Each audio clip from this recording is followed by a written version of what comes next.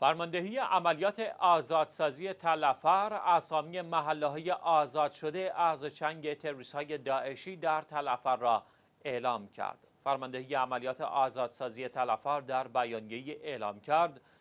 از آغاز این عملیات تا کنون 16 محله تلفر از لوس وجود سنی های تندرو پاک شده و فقط 12 محله دیگر در اشغال آنهاست.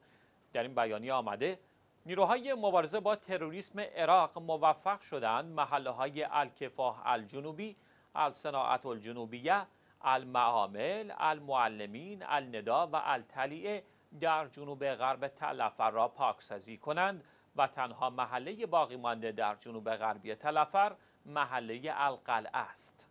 فرماندهی عملیات آزادسازی تلفر در ادامه این بیانیه افزود نیروهای پلیس فدرال واکنش سریع و نیروهای مردمی عراق نیز محلات الکفاه شمالی الوحده و سعد در شمال غرب تلفر را از چنگ سنی های تندرو آزاد کردند و تنها سه محله در شمال غرب تلفر در اشغال تروریستها باقی مانده که عبارتند از عربی، القادسیت اولا و القادسیت الثانی.